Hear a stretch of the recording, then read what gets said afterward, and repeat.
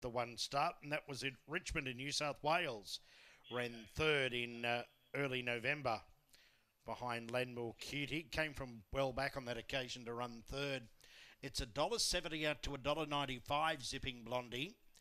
Peekaboo Pearl 26, She Sassy 21, Brains at 9, Maybe a Gun 240 out to 260, Aerobic Tank 16, Left in Vegas 51, and Zipping Blondie now back into a dollar 85.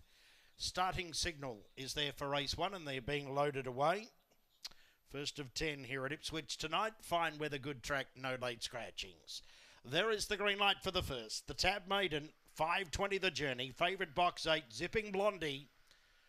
Off now, or Zipping Blondie walked out, last away. Out wide, Aerobic Tank run the start. She Sassy Brains driving through. Maybe a gun goes to the inside, followed by Peekaboo Pearl. Left in Vegas, and the odds on favourite. Zipping Blondie is last. Running into the back, She Sassy rails through to take the lead over Aerobic Tank. Rolling up there was maybe a gun behind them. Three wide, then was Brains. A long break, Peekaboo Pearl. Zipping Blondie and left in Vegas coming to the corner. She Sassy in front to the inside. Maybe a gun. Maybe a gun goes through. Kerry Hogan again. Maybe a gun. Came away to win by four over She Sassy Brains. Then came Zipping Blondie in front of Peekaboo Pearl. Left in Vegas Aerobic Tank in around 30 and 90.